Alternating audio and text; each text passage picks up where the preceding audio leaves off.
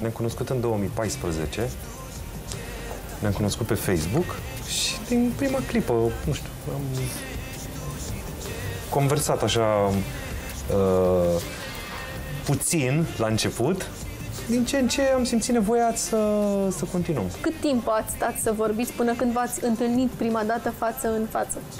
Păi, pe 15 ianuarie ne-am întâlnit prima oară.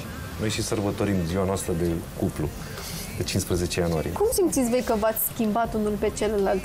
Am fost toată viața mea un răsfățat, egoist și m-am pus tot timpul pe locul 1.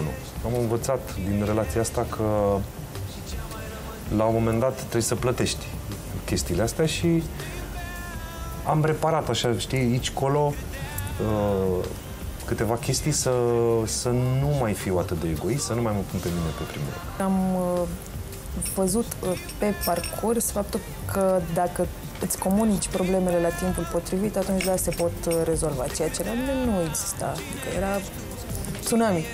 Nu-mi convine, da. Și revedere. Am citit Da, eu Problemele.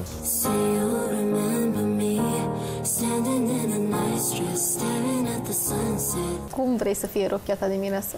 Sau poate vrei știu. să ai mai multe, nu știu. Nu știu, cred că am nevoie de cinci, știi? La modul ăsta. O fiecare oră să schimb câte ceva. Care a fost cea mai mare cumpănă în relația voastră? Când ați crezut voi că poate de data asta nu o vom depăși? N-am plecat niciodată cu gândul că nu o să depășim ceva. De-a lungul pă, vieții, tot trecând câte un an, doi, trei, un an, doi, trei, tot ce ziceam eu că nu o să beau cafea cu lapte, uite, s-a întâmplat să beau cafea cu lapte, adică degeaba pot să zic ceva acum și să se întâmple și de fapt să trec peste și uite că Mihai? am trecut. Nu m-am gândit niciodată la aspectul ăsta. Pe tine